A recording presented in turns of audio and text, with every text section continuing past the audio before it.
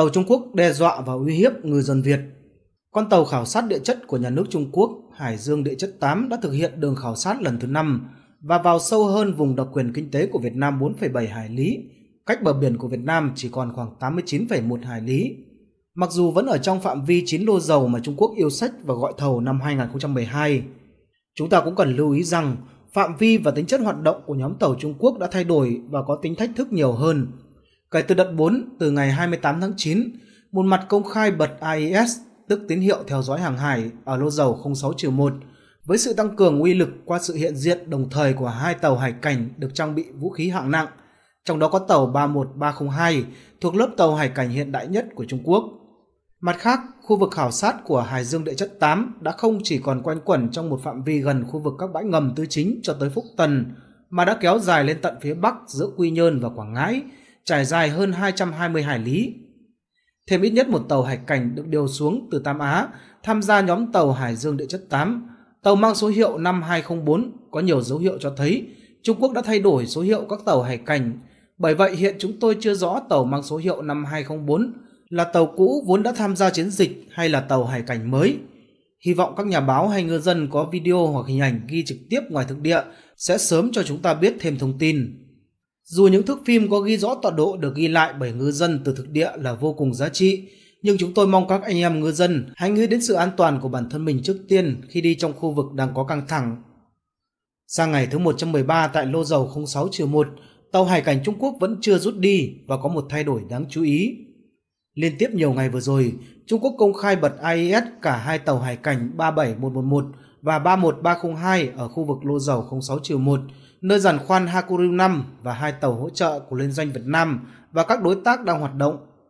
Cùng với AIS của các tàu bên phía Việt Nam cũng được bật, có thể dễ dàng quan sát được hai tàu hải cảnh của Trung Quốc đã có những chuyển động nguy hiểm chặn đường đi của tàu Việt Nam như tàu Crest August 5 như thế nào. Cho tới sáng ngày 6 tháng 10, tàu Crest August 5 rời khỏi khu vực trở về Vũng Tàu, tàu Sea Meadow 29 ra thay thế và không bật AIS. Như vậy, trong khi hai tàu hải cảnh Trung Quốc vẫn bật AIS, tàu và dàn khoan bên phía Việt Nam hoàn toàn không bật AIS, nên sẽ chỉ thấy tàu Trung Quốc di chuyển nhưng không thấy được chúng có chặn đường tàu Việt Nam hay không. Phải chăng tàu Việt Nam muốn chống chọi trong bóng tối, trong khi tàu Trung Quốc không cần tắt AIS, không cần che giấu sự hung hãn của mình? Trong một diễn biến khác, vào ngày 6 tháng 10 tại Hà Nội có tổ chức cuộc tọa đàm về tình hình Biển Đông với sự tham dự của nhiều chuyên gia nghiên cứu về Biển Đông và các phóng viên. Tại tọa đàm vùng biển bãi tư chính và luật pháp quốc tế do Viện Nghiên cứu Chính sách Pháp luật và Phát triển phối hợp với Viện Quản trị Doanh nghiệp tổ chức vào ngày 6 tháng 10 năm 2019 tại Hà Nội, Thạc sĩ Hoàng Việt, một thành viên của dự án Đại ký sự Biển Đông đã có bài tham luận tại sao Việt Nam nên khởi kiện vụ bãi tư chính. Nhìn chung đây là một tọa đàm thân mật, không nặng tính kỹ thuật chuyên môn, mà là nơi để các diễn giả và những người tham gia tọa đàm chia sẻ quan điểm, tâm tư tình cảm riêng, chia sẻ những kiến thức, quan sát họ tích lũy được hay những nguồn thông tin mà họ biết. Những người tham gia tọa đàm hầu hết thuộc thế hệ bồ lão, chúng tôi nhận ra có một số vị lão thành như Nguyễn Trung, Vũ Ngọc Hoàng, Lê Văn Cương, Lê Đăng Doanh, Phạm Chi Lan, Nguyễn Trường Giang, Chu Hảo, Hoàng Quốc Hải, Trần Ngọc Vương, Hoàng Ngọc Giao, Lê Mã Lương, Nguyễn Khắc Mai và Trương Triều Dương.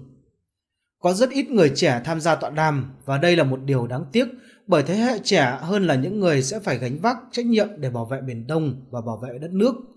Có một số sự cố nho nhỏ, một thành viên của dự án do đã quen với nếp sống và làm việc mười mấy năm trong môi trường khoa học ở nước ngoài, nên trong giờ nghỉ trưa giữa giờ tọa đàm, thành viên này hồn nhiên để lại mọi tài liệu của tọa đàm ở trên ghế ngồi và ra ngoài uống nước. Đến khi hết giờ nghỉ, khi quay trở vào, tập tài liệu đã biến mất. Quan trọng nhất trong tập tài liệu là những ghi chép của thành viên này về một số điểm đáng chú ý trong những bài phát biểu của các diễn giả. Không biết ai đó khi điều tra những ghi chép đó có thể hiểu được không? Đó là những ghi chép hết sức vắn tắt với những dạng từ khóa. Để hiểu một phần những ghi chép đó, ai có thể đọc bài nghiên cứu này của chúng tôi. Vì là cuộc tọa đàm thân mật không nặng tính kỹ thuật nên không có kỷ yếu các bài tham luận của các diễn giả tham gia hội thảo.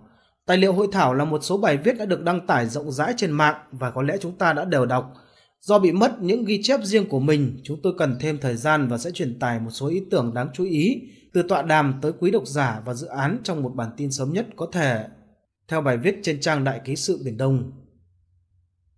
Ăn miếng trả miếng, Việt Nam và Trung Quốc đang gườm nhau tại bãi tư chính. Trang Đại ký sự Biển Đông đưa thông tin cập nhật tình hình căng thẳng tại bãi tư chính vào ngày 5 tháng 10. Tàu Cres Argus 5 hỗ trợ hoạt động giàn khoan Hakuryu 5 tại lô 06-1 vẫn phải hoạt động trong sự hăm dọa của hai tàu hải cảnh 37111 và 31302. Tàu hải cảnh 3402 đã bật AIS cho thấy nó đang nghỉ ở đã chữ thập. Tàu 3308 vẫn bị mất tín hiệu AIS từ hôm 27 tháng 9 cho tới giờ.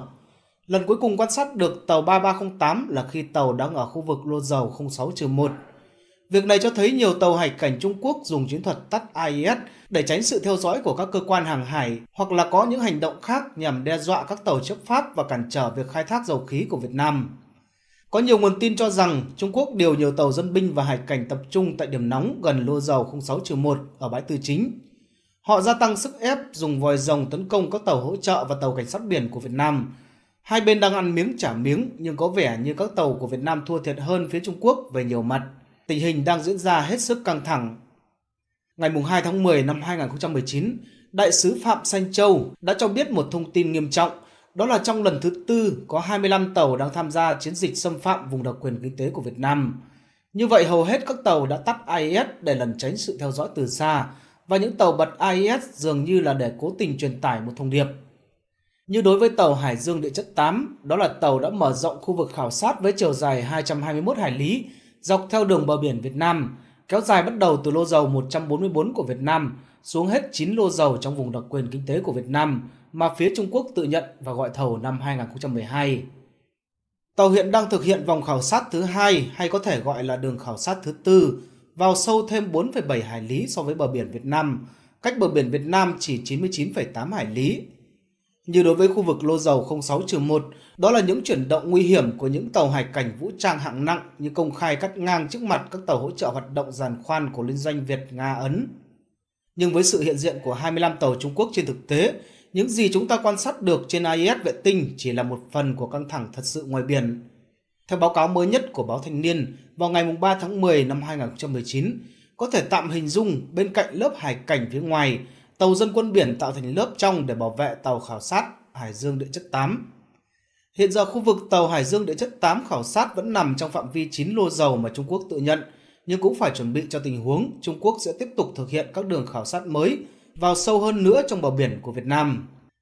Đang có những dấu hiệu cuộc đối đầu giữa Việt Nam và Trung Quốc tại khu vực bãi tư chính leo thang đến mức nguy hiểm với những hệ quả có thể không lường trước được. Theo nhóm thông tin Biển Đông Indo-Pacific, vào ngày 3 tháng 10 năm 2019 gửi tới nhóm chuyên viên quốc tế lâu nay thường phân tích và bình luận về tình hình Biển Đông như Gleb Polling, Colin Core, Alex Vukin vân vân, thì tình hình khu vực bãi tư chính 24 giờ qua có những dấu hiệu leo thang căng thẳng.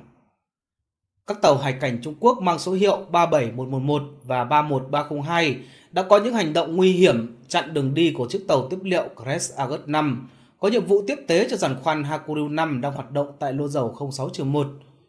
Theo nhóm thông tin vừa kể, Trung Quốc đang cố ngăn chặn hoạt động dầu khí của Việt Nam tại lô 06-1 bằng cách chặn tàu tiếp liệu của Việt Nam. Đây là sự leo thang nguy hiểm có thể có những hậu quả không thể lường trước được.